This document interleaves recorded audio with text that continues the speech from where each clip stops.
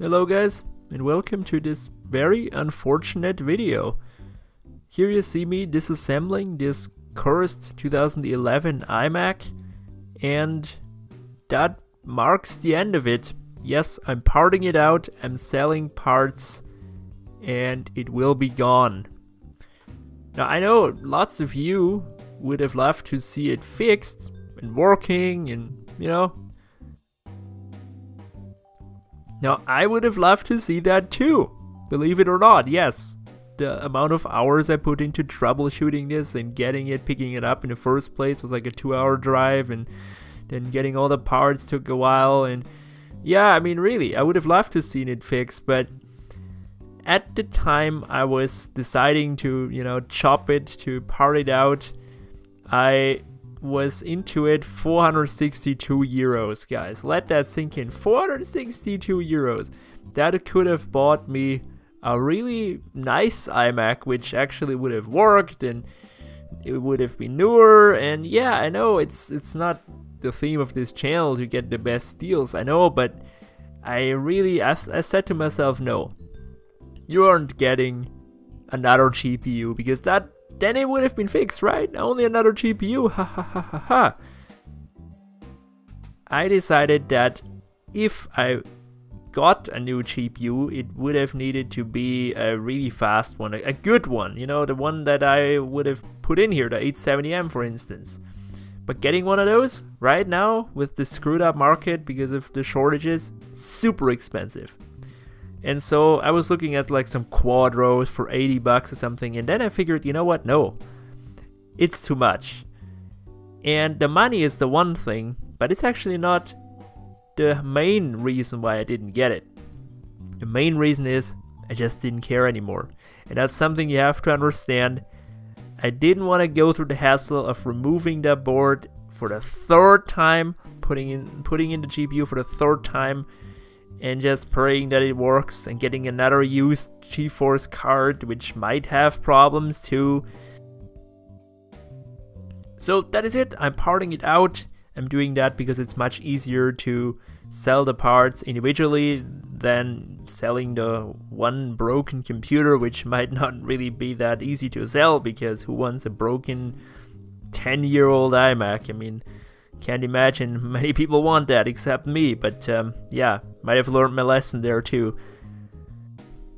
Now just to recap, if you're not up to speed, if you like only watched the recent videos or something, this iMac, when I got it, didn't show a video signal. And my first guess was right, GPU is dead. But unfortunately, I got too focused on those damn diagnostic LEDs. And so I supposed that when I put my 70M in, and it still didn't show three lights that the board had a problem, the logic board. And so I bought another logic board. Now the logic board is fine. That was not the problem, so I sent back the logic board. Thankfully the eBay seller was nice and took it back, so no loss there. But one person in the comments told me that an unflashed video card uh, causes a, you know, not to light up the three LEDs. And so I flashed it and I was super hyped. You can watch it in the latest video of it.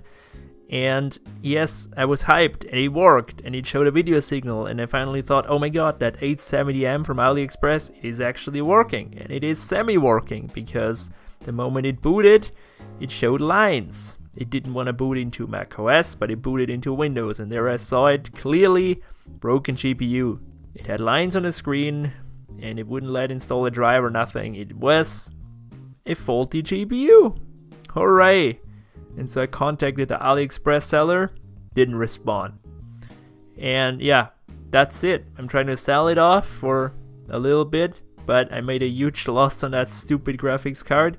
That really goes to show that if you're buying something so expensive, maybe not getting get it on AliExpress um, or maybe get it from a really trusted seller. But hey, that that seller actually didn't have bad reviews, so can you trust that? I suppose not. So what am I gonna do? You know, sue a guy in China or something? It's it's not really feasible, not really making any sense at all. So I'm just gonna take that hit, and that was also a factor like getting another GPU and having also the you know the chance that it has problems and might fail i just said that's it i'm done and that's as far as it goes. So I think I can make back a little bit of the money. I really hope so. I found those parts individually to be rather expensive if I can trust the values on eBay. Also needs to sell, of course.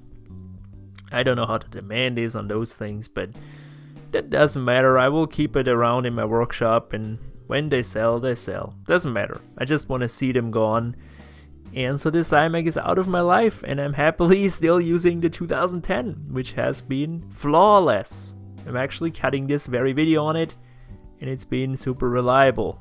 I'm not all that mad that this 2011 didn't work out.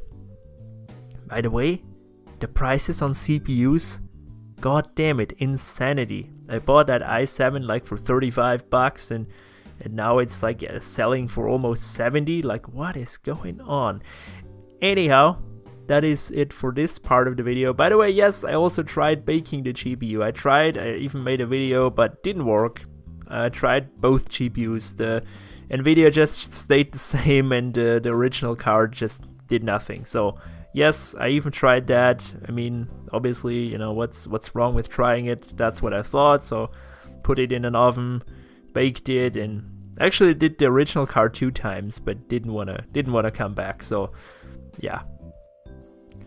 Now there's another thing we need to talk about actually. I am in fact currently in the process of selling off some of my Mac collection. And I'm doing that because, well, for, for, for a couple of reasons, in fact. First of all, I kind of lost interest. You know, this whole vintage Mac thing where this channel is based on, I learned a lot over the years. Don't get me wrong, I really enjoyed it. I know lots about PowerPC and stuff. But at this point, I don't find it all that interesting anymore and I now own so many computers, and so many of which I've really never used all that much, and some I really don't care about. And so I'm trying to get rid of, like, shrink down the collection massively. I have so many computers, and I, well, I'm just sick of them, and they just take up space. And also, I feel like I can use that money somewhere else. Now there are some which I will of course not sell like the Cube or my 1.5 gigahertz PowerBook G4 that's like my personal PowerBook which I used years ago with still the installation and all the programs. So that's something I kind of feel attached to you know I have a history with that history with that.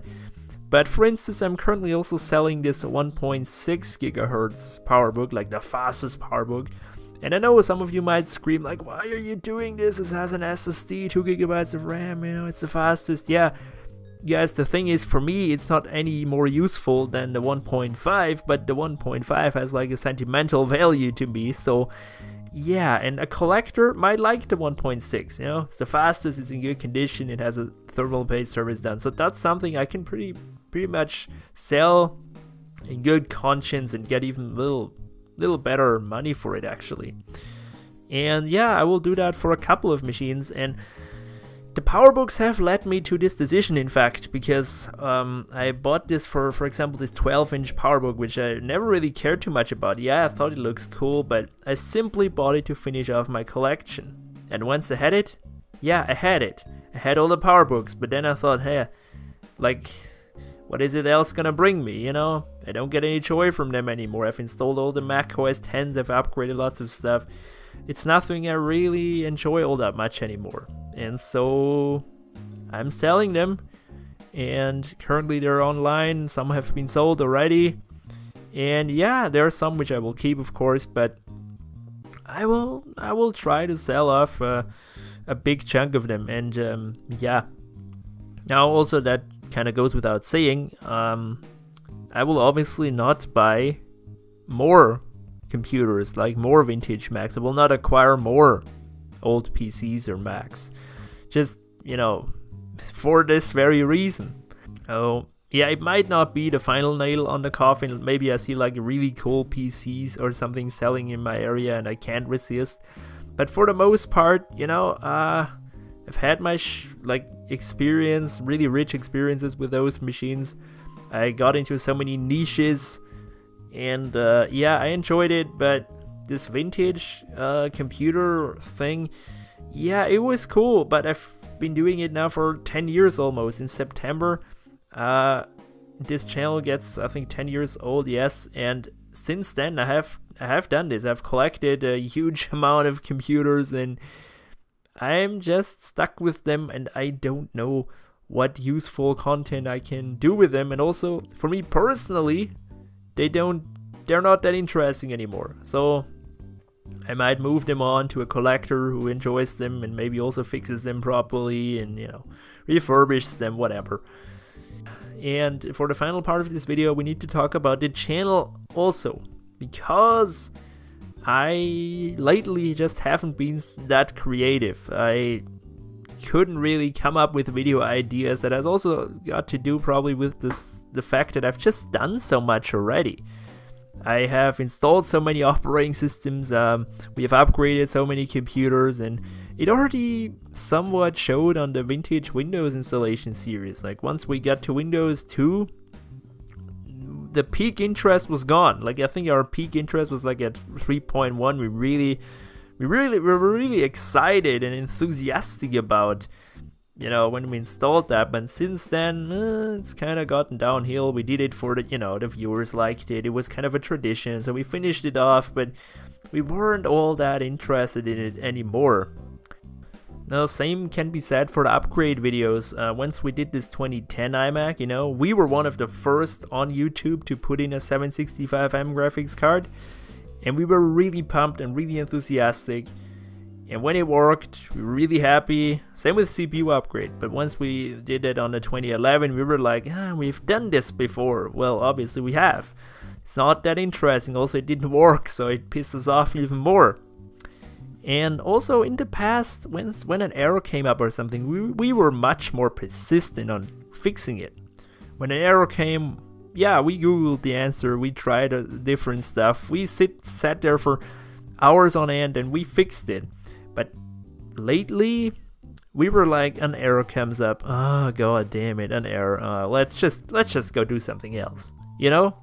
So our interest has faded and my interest has faded. I've got other things to do in my life at the moment, and yeah, I mean, it's not that I, you know, I'm sick of making videos, not at all. It's just that I want to make videos which are entertaining, which are, you know, for the sake of saying it, good.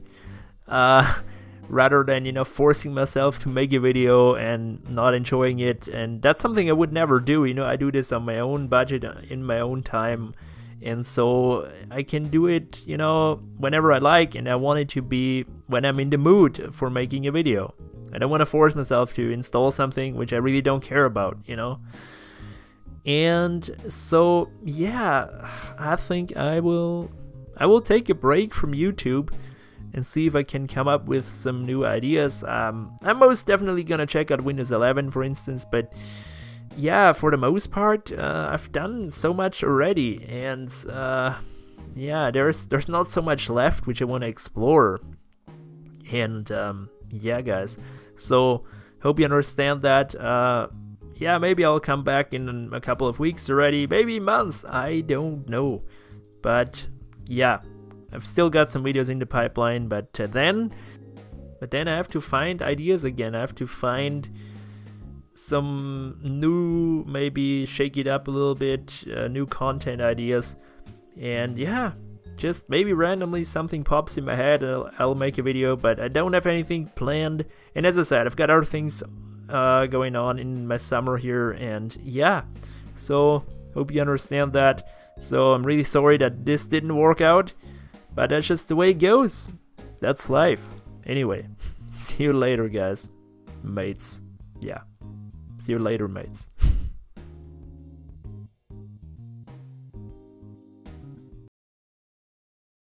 No! What? No, no, no. Oh shit, no. What did you do? Oh fuck. What did you do? Oh fuck. No, don't tell me. No!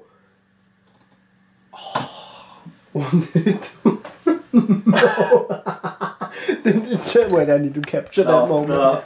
Oh shit. Oh my god. What the fuck did you do? Oh my god. Is that that one where you had all the videos on? Yes. Oh my god. Why did it kill it? Are you sure? Is that a, is that a separate hard drive? no. Oh There's just Mr. Bitch and the other one. Oh, well, Mr. Truly is a bitch. It's fucking upgrade. Oh. This will be easy and straightforward. it was straightforward into fucking hell. I killed my data, mate. God damn.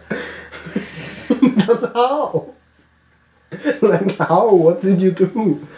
I tell you what I did.